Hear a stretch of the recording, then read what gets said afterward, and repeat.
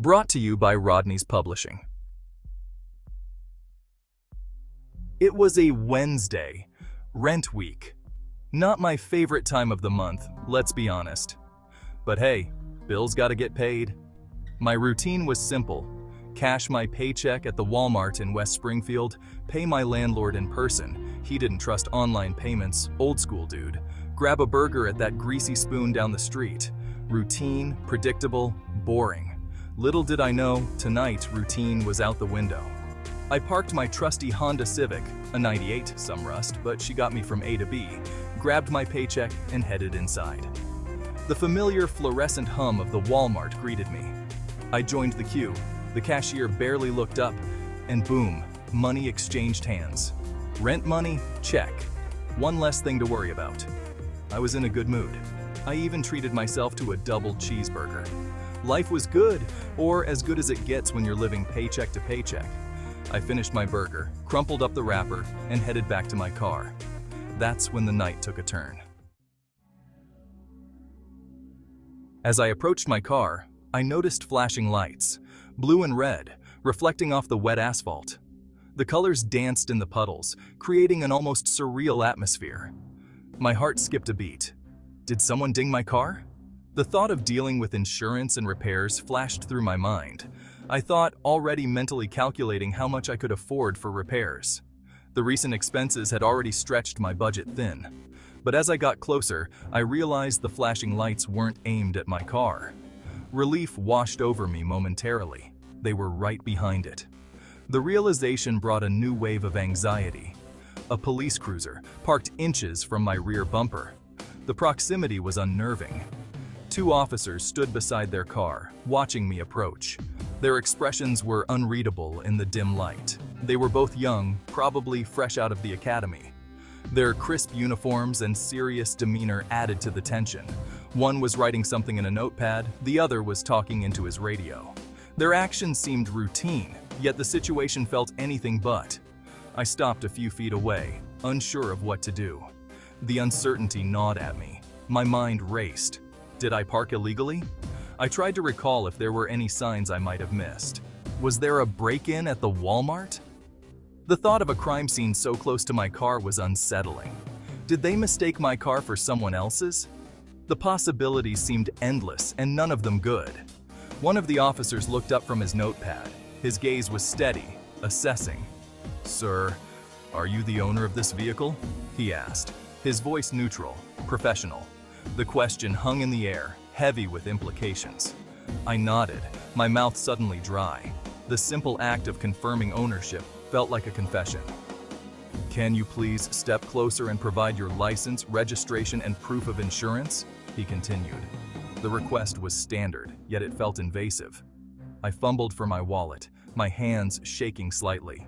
The pressure of the situation made even the simplest tasks difficult. This was not part of the plan. I had only intended to make a quick stop at the store, not get involved in a police encounter. I handed over my documents, hoping everything was in order. The officer examined them carefully, his expression giving nothing away. After what felt like an eternity, he nodded and handed them back. You're all set, he said, his tone still professional but slightly warmer. I sighed in relief, the tension slowly ebbing away. Thank you, I managed to say, my voice shaky but sincere. The officers got back into their car and drove away, the flashing lights fading into the distance. The parking lot returned to its usual quiet. I stood there for a moment, reflecting on the experience.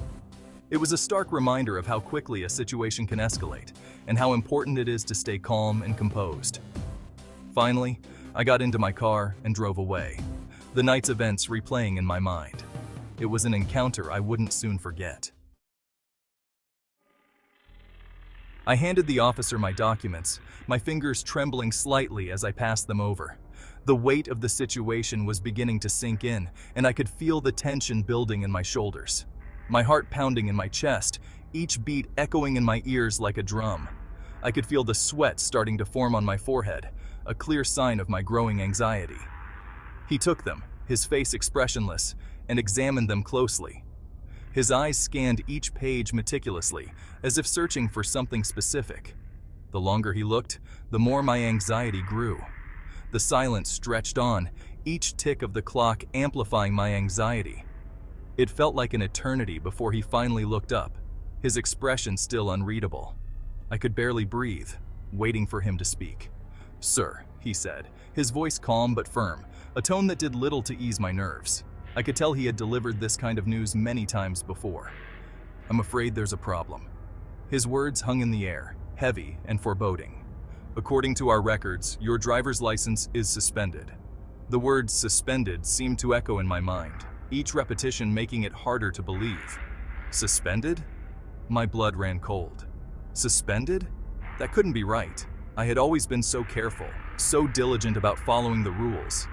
I'd never had so much as a parking ticket, let alone anything that would warrant a suspension. My driving record was spotless, a point of personal pride. There must be some mistake, I stammered, my voice cracking with panic. I could feel my hands starting to shake, the reality of the situation hitting me hard. I've never been suspended before. The words felt foreign in my mouth, as if saying them would somehow make them true. The officer raised an eyebrow, unconvinced. His skepticism was palpable, and it only added to my growing sense of dread.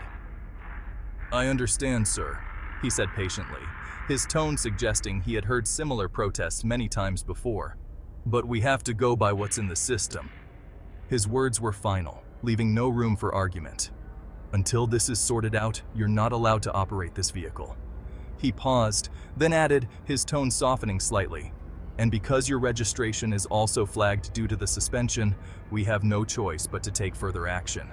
We're going to have to tow your car. The sight of the tow truck approaching felt like a punch to the gut.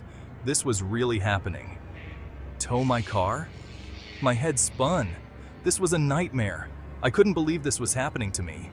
I felt a wave of helplessness wash over me. The situation was completely out of my control, and there was nothing I could do to change it. The officer's words echoed in my mind, a constant reminder of the reality I was now facing. Desperate, I pulled out my phone and called my lawyer, hoping for some kind of miracle.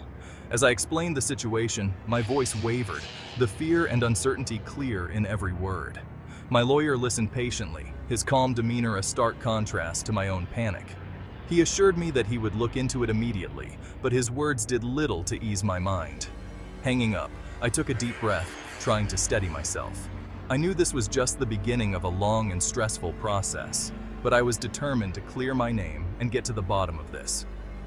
As I watched my car being towed away, I felt a mix of emotions, fear, frustration, and a steely resolve. This wasn't over, not by a long shot. I would fight this, and I would win. Section 4 Insurance Confusion A Comedy of Errors. The next few hours were a blur of phone calls, paperwork, and frustration. It felt like I was trapped in a never-ending loop of bureaucratic red tape, each call leading to more confusion and less clarity.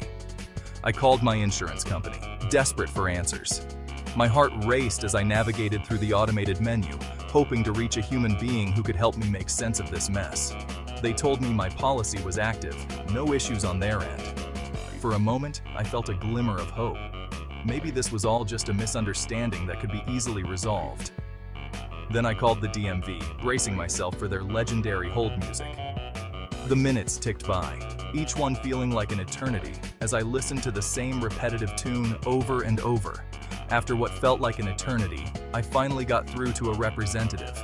My relief was short-lived, however, as she delivered the news that my license was indeed suspended. She told me my license was indeed suspended due to an unpaid insurance lapse. My mind raced as I tried to comprehend how this could have happened. Unpaid insurance lapse? I exclaimed, incredulous. How could there be an unpaid lapse when I had been diligent about paying my premiums on time? That's impossible. I've been paying my premiums on time. I felt a surge of frustration as I tried to explain this to the representative. The DMV representative, clearly reading from a script, informed me that they had received a notification from my insurance company about a lapse in coverage a few months back. I was baffled. How could there be such a discrepancy? Armed with this new information, I called my insurance company again. This time, I was determined to get to the bottom of this. This time, I got transferred to three different departments, each more unhelpful than the last. Each transfer felt like a step further into a labyrinth of confusion. Finally, after what felt like an eternity, I was connected to a supervisor. My patience was wearing thin, but I held on to the hope that she could provide some answers. She listened patiently to my story, then put me on hold for what felt like an hour. The silence on the other end of the line was deafening, each passing second amplifying my anxiety. When she returned, her tone was apologetic. I could sense that she had discovered something significant. Sir, she said, it seems there was a clerical error on our end. My heart skipped a beat as I processed her words. We accidentally reported your policy as lapsed when it wasn't. Relief washed over me, but it was tinged with frustration at the unnecessary ordeal I had been put through. I thanked her for resolving the issue, but couldn't help but wonder how many others had faced similar bureaucratic nightmares. A clerical error? That's it? A simple, stupid mistake had turned my life upside down. I was furious, but also relieved. At least there was an explanation, the supervisor assured me they would rectify the situation immediately. They would send a notification to the DMV clearing my name. Easy, right? Wrong. The DMV, it turned out, was not so easily swayed. They insisted on seeing a written confirmation from the insurance company, with original signatures and all. This meant waiting for the mail, which could take days, maybe even weeks. In the meantime, my car remained impounded, racking up storage fees by the hour. To make matters worse, the DMV informed me that even after they received the confirmation, I would have to pay a reinstatement fee to get my license back. The fee? A hefty sum that I simply didn't have. I was trapped in a bureaucratic nightmare, a Kafkaesque labyrinth with no way out. The consequences of this ordeal extended far beyond the immediate inconvenience. My car was my lifeline. I needed it to get to work, to buy groceries, to live my life. Without it, I was stranded. I had to call my boss and explain the situation, knowing full well that missing work meant losing precious income. As if things couldn't get any worse, my landlord called, demanding the rent. I explained my predicament, hoping for a little understanding. But he was a man of strict principles, and deadlines were deadlines. The threat of eviction loomed large. The stress was unbearable. I was constantly worried, constantly on edge. The bills were piling up, and I had no way to pay them. My credit score, which I had worked so hard to build, was taking a nosedive. This wasn't just about a towed car anymore. I appreciate your time for listening. Stay tuned for more shorts from at Rodney's Publishing YouTube. Further inquirers, click the link in my bio below, and don't forget to tap the top right screen for more. Leave a comment.